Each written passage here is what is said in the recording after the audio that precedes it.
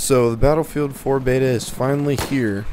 It's been long enough, I can tell you. Uh, it came out October 1st, last night, from actually last in the morning.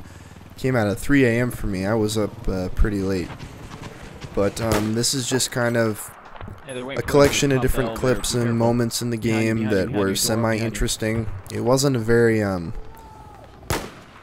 it wasn't full of energy. It was very droll and slow paced and not quite what I was expecting. I know it is a it is a pretty early beta, um, but I was expecting a little bit more from it. Um, you, you'll see some, uh, excuse me, you'll see some pretty big glitches and things that just they're not working right.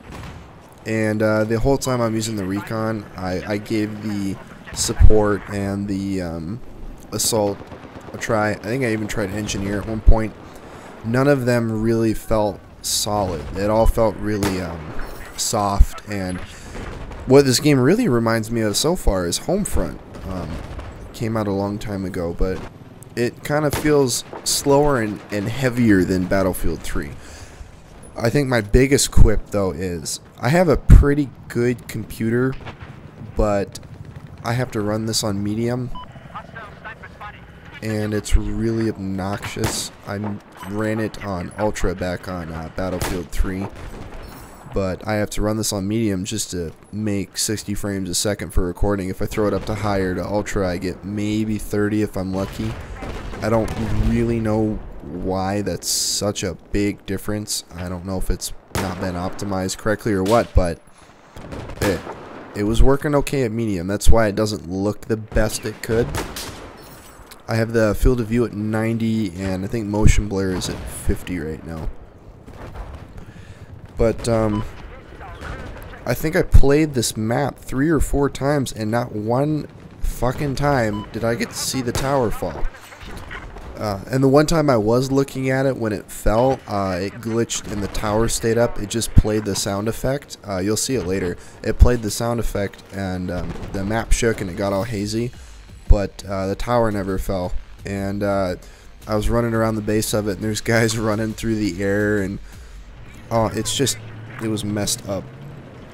And uh, here in the tank, I noticed the shells have a tendency to pull to the right when you shoot them it kind of goes to the right of the reticule, so you have to kind of you have to really aim above your target. It's got a lot more drop, I think, than Battlefield 3. I don't know. I'm not an expert on the tanks. I really didn't spend that much time in them, but from what I felt in this one, they felt uh, a little a little underpowered compared to the other ones. Um, I kind of sit here for a little bit. I don't get uh, any vehicle kills. I disable this tank right here but uh, the BTR to my left finishes him off.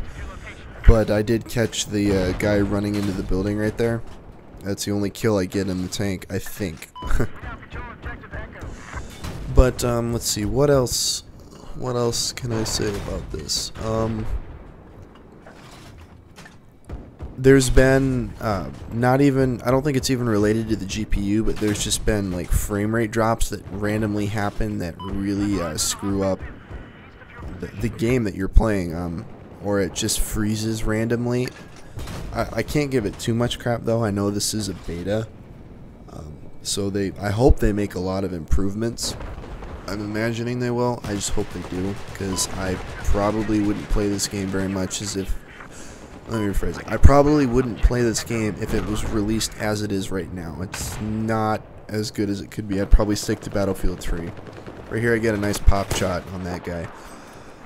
But I'm really, I'm liking the sniper rifle. I just, I still, I don't like when you're like 600 meters away, you're aiming an inch above the guy's head and like a half an inch in front of him because he's running and you, you shoot and the bullet nails him right in the shoulders. You, it's hard to do that, and then you get a hit marker, and he just runs behind corner. You're not gonna run away from a bullet tearing through your chest or your shoulders. I mean, maybe an arm you'd still fall over. A sniper rifle bullet's not gonna just kind of tap you. Like right here. I'm gonna I'm gonna get a hit marker on this guy down here, and it was very frustrating. But um, I think this is the part where the uh, tower, right there is a hit marker. But I think this is where the tower starts to fall, and I uh, jump off and parachute with the guys going off the side with me, but the building never falls down. See, I th uh, let's see if it happens. Yep, see the building shake. My guy's like, I'm gonna get the fuck out of here, so I join him. And there goes the building sound effect. I think just after this, you're gonna see the guys that like fly through the air, and I don't. When I killed one of them with a pistol, and I don't think he could even see me from where I was at because he probably had the rubble on his screen and I didn't. I played a little bit of the um, the domination mode. Very, very Call of Duty-esque, very small map, fast-paced. Um, not sure if I like it or not. It's really easy to get flanked in that game mode. Um, I think partially because of the, the the spawn, the squad spawn system, it's really easy to, if you can get one guy behind the group, you can get four if your uh, squad members actually know what they're doing. But, um, you know, I just lost my train of thought. Um, fast, yeah, fast-paced Call of Duty, yes, because of the spawns. Um, I was trying to use the, um, pause for a sec. Here's the floating guys. Um, takes me an entire magazine and a half to kill this guy. I don't think he even saw me, too. I thought he was just getting hit through the rocks right there, because, uh, I'm sure there's rubble there. I just can't see it. But anyway, um, I tried using the, uh, the uh, Assault class on the Domination mode, and it just, it did not feel powerful. The gun wasn't I, I, am not quite sure how to describe it. It felt soggy, soggy and heavy compared to the, the light pop like uh, the, of the M16A3 in uh, Battlefield 3. Because I had uh, been spending a lot of time playing that, trying to get uh, ready for this. Because um, most of my time had been on GTA 5. And there, where we have uh, Mr. Invisible, who teleports and then proceeds to fuck me up, and I can't do a thing about it. It's another thing. Um, I see a lot of people that like kind of uh, jump and glitch around the map, and it's really frustrating because it's very hard to hit them.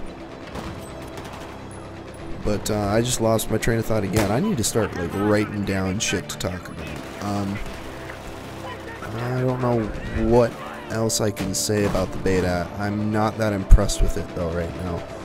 I might I might throw some more footage up of it if I uh, get anything really cool. As of right now, probably not. But um, some GTA 5 videos will be coming out very soon. Maybe do some Forza Horizon. Um, I don't know. We'll see. We will see what the future brings. Uh, thank you for watching. And if you haven't gone and played this, I strongly recommend it. Go uh, experience the battlefield for yourself, man and I will see you guys later.